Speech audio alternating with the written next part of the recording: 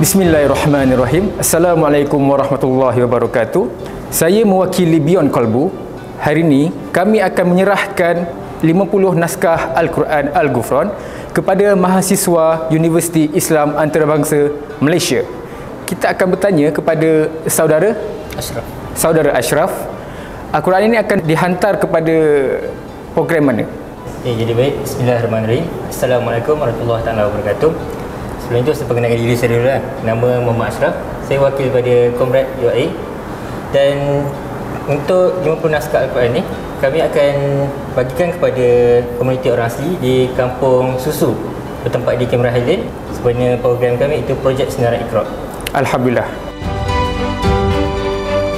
Jadi saya ingin mengucapkan ribuan terima kasih kepada pewakaf-pewakaf Biang Kolbu kerana sudi menyumbangkan kepada kami 50 naskah Al-Quran untuk menjadikan projek senarai ikhrak kami yang akan bertempat di Kampus Susu, Cameron Highland pada bulan 12 akan datang.